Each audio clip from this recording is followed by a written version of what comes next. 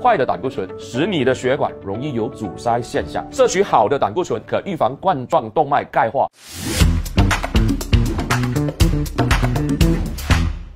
大家好，我是 Doctor Lee，让我来关心你的健康。胆固醇就一定不好吗？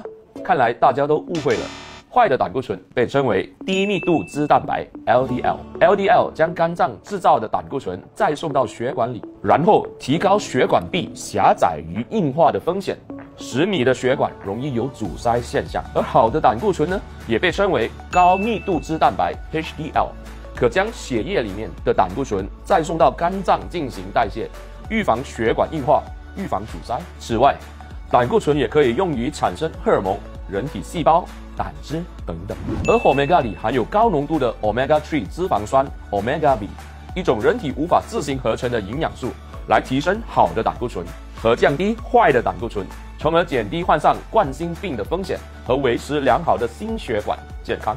除此之外，omega 里也含有 minoquinol 维生素 K2 和维生素 D3，可预防冠状动脉钙化，减少冠心病的风险。在此呼吁大家。摄取好的胆固醇才是保护心血管最有效的方式。如果你们还有什么疑问，可以在留言区留言哦。